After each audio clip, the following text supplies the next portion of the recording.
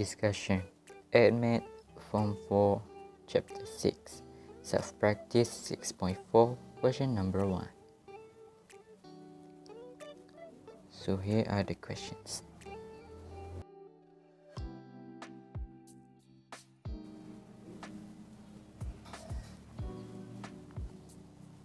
Okay, first, soalan first, dia suruh graph. So, kita buat graph. Kena ikut requirement dia. 2 cm untuk 2 unit dekat paksi X and 2 cm untuk 5 unit dekat paksi Y. Soalan B1, dia nak Y intercept. Y intercept yang dekat paksi Y tu. So, kita kira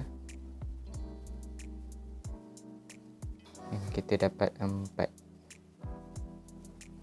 so y intercept ataupun c sama dengan 4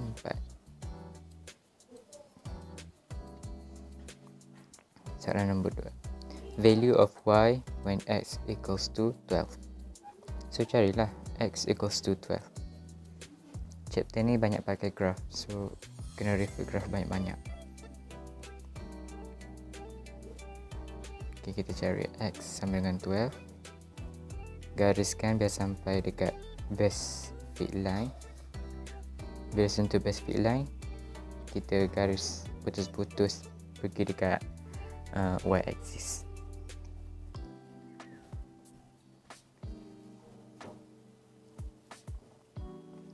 And then Kita akan dapat So kira kita akan dapat 22 so untuk jawapan untuk soalan ni equals to 22 soalan nombor 3 gradient ataupun m. M sama dengan y2 tolak y1 bahagi x2 tolak x1 so m sama dengan kita refer graph pula. So sini kita ambil yang paling mudah. Dua titik yang paling mudah.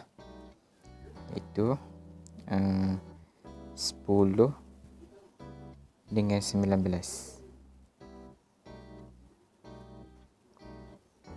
titik 10 dengan 19 Okey, titik yang kedua pula kita akan ambil um, 2 dan 7.0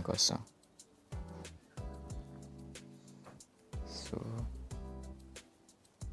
So M sama dengan uh, Y2 Y2 kita 19 okay. Y2 19 Tolak dengan Y1 iaitu 7 Bahagi dengan 10 tolak 2 So um, Bila kita kira kita dapat 3 per 2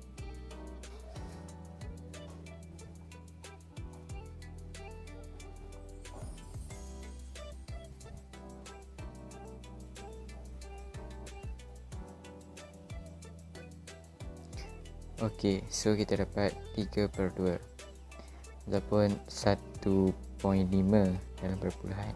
Tapi untuk soalan ni Biasanya kita akan guna pecahan lah. So 3 per 2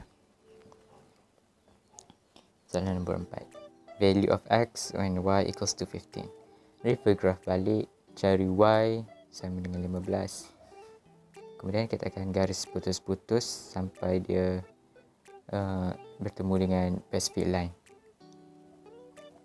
Sampai dekat fit line kita garis putus-putus pergi dekat x-axis. Dan kita tengoklah dia jatuh dekat nombor berapa.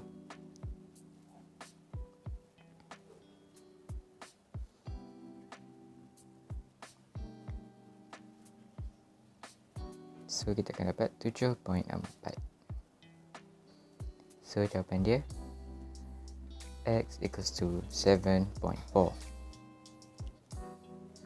Okay, untuk soalan C pula Equation of the best fit line. Equation linear sama dengan Y besar tolak M X besar tambah C. So, kita punya Y Ambil daripada Y axis. Sebab dekat situ Y juga.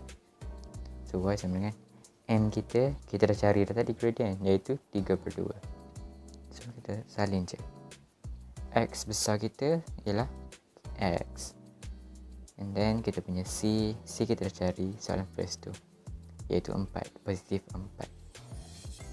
So kita dapat Y sama dengan 3 per 2X tambah 4. And then dia nak kita cari X sama dengan 28, Y berapa?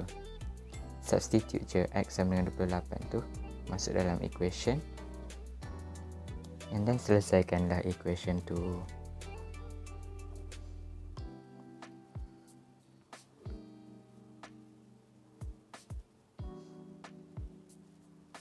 Okay, so kita kira-kira kita akan dapat Y sama dengan 46. So, siap.